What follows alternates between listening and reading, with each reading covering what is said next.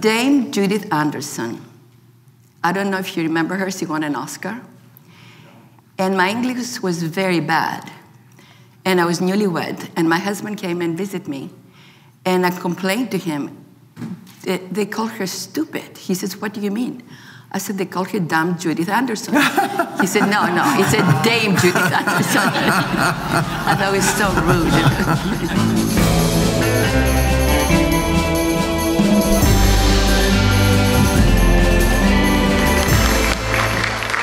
Today we're going to talk with a lady who started as a beauty queen. She was Miss Greece, a former Miss Universe, and she turned into one of the great Indian princesses of all time. In A Man Called Horse, Corinna Fields. Welcome, Corinna. Thank you. That was um, over half a century ago, so let's not talk about that. How is it that you haven't changed? Yeah, yeah sure. How did that happen? I know that uh, you were speaking Greek at the time. I was uh, under the contract to Fox. And we usually went to acting classes, dancing classes, speaking classes. So uh, they asked me to go for the movie A Man Called Horse to play an Indian princess. So I went and I did the interview in Greek. I would say something in Greek because they were not um, English dialogue for me in the movie. So everything actually, I said a very lovely Greek prayer with a lot of passion. so I got the job. When I went there, I had I heard in Greece Western. It was our favorite movies in Greece. You won't believe it how much we loved them. So it was like a dream came true. He's man reduced to his absolute minimum. I've had enough! I'm not a horse! I'm not an animal! I am a man! It was hard for me after the movie was over because a lot of Indian people, they were against me. Why come I didn't, they didn't pick an Indian girl? And I understand that totally. But I thought it was acting. So if I waited to be an American waiting for a Greek part, I'll be out of a job, which I did. and I got to, uh, we went to Durango, Mexico with Sioux Indians. And it was amazing because they couldn't get passports to go to Mexico. They couldn't prove that they were Americans. So I learned my earrings. Oh, it's my hitting earrings. The, ah. My earrings. When we edit this, it'll be just a fast cut like that, and all of a sudden, we'll see if people are paying attention. It, I got that in the movies too. You, you go in with one dress and you come out with a totally different from, from the ladies. So. So it was a wonderful experience for me to learn about their culture. And believe it or not, it was close enough to my culture. You know, respect of the elders, respect for the, your name to be proud of it respect uh, for your grandparents. And it was totally similar. So I spent three months with them in Durango, Mexico. And I learned them a lot of history. Indians, they never wore headbands. It was Hollywood that put it on so they can keep their wigs together. We had historians there that in details, we couldn't have the color blue because they hadn't discovered that yet. Really? So it was a gold history lessons for me.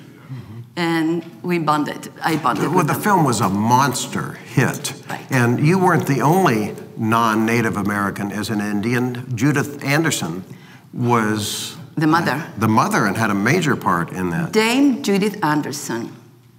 I don't know if you remember her, she won an Oscar. And my English was very bad. And I was newlywed, and my husband came and visited me.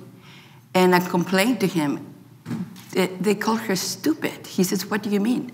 I said, They called her Dame Judith Anderson. he said, No, no. He said, Dame Judith Anderson. I thought it was so rude. so I learned a lot. Richard Harris, of course, this was a big step for him in terms of showing he could be an action star. Actually, he had done a movie that I saw him when I was 16. He played the rugby player, Sporting Life. That was it and it was amazing. Mm-hmm. And Richard, I met him before. I did a little part in a movie with him and Doris Day, so I get to know him. And he was a wonderful storyteller, but he liked to drink. And because the movie, he was almost naked most of the time, he never drank. I mean, for three months we were there. He would exercise every day, and he stopped drinking, and he was terrific. He did a sequel to that too because the film was so popular Return Yes. of a Man Called Horse.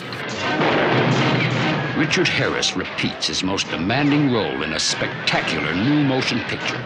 Bigger, bolder, more electrifying than any film of its kind. Hagen, Bill!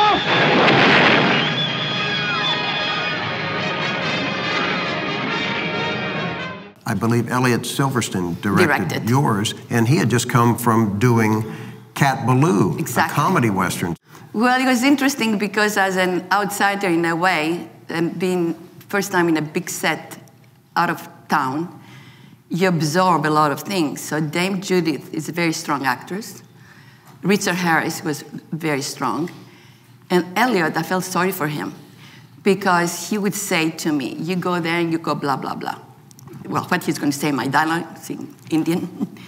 And then he would, and Richard would go crazy. He wanted somebody stronger. So there'll be fights. So I learned the four letter words there. It was my experience. Your first English words. Yeah, What sort of things did Richard disagree on with Elliott? different point of view, and Dame Judith uh, will try to work both sides. She was an Mediate. amazing mediator uh, because Richard knew exactly what he wanted, and he was right most of the time, to tell you the truth.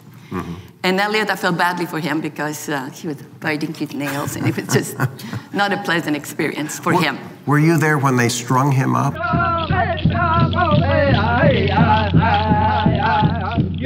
A man called Horse. To finally become an Indian warrior, he must perform the sunvow ceremony, perhaps the most electrifying ritual ever seen. I was there, and they did the rehearsal, so they took him up and dropped. They didn't do a good job, so he dropped right on his back, How far a drop? high, and he was quiet on the set. And then he got up, and then more words came out. he said, "Were the camera on? Cameras on? Because nobody had them on, so he didn't have to do it again." But they had to do it again.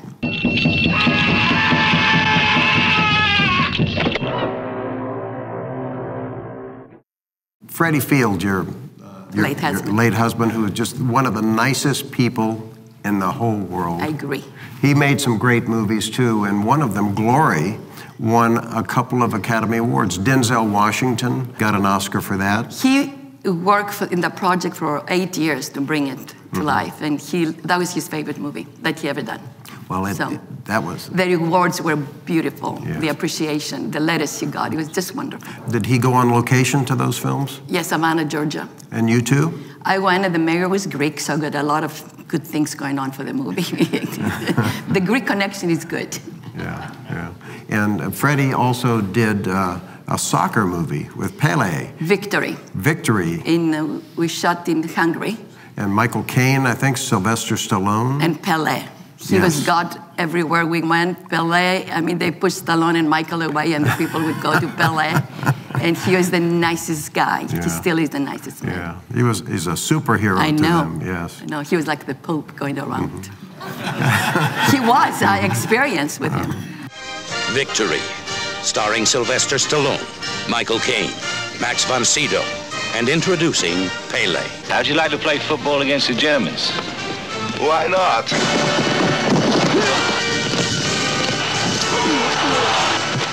After you did uh, the Man Called Horse, did you want to go further into the acting career? So when I wanted to be an actress, honestly. First, I wanted to come to America, and I'm so happy I, I, I've been here since then. I saw Elizabeth Taylor, Audrey Hepburn, beautiful clothes, beautiful, beautiful cars, beautiful houses. I wanted to be that. Well, with an Indian getting up five o'clock in the morning and going up there and getting up, the dirt and everything, no, it wasn't for me. So, and then uh, on the set, my husband visited me. I was newlywed, visited me, and I got pregnant. And my son was born afterwards, and loved being a mother. So I don't regret it, and I'm happy I decided to do that.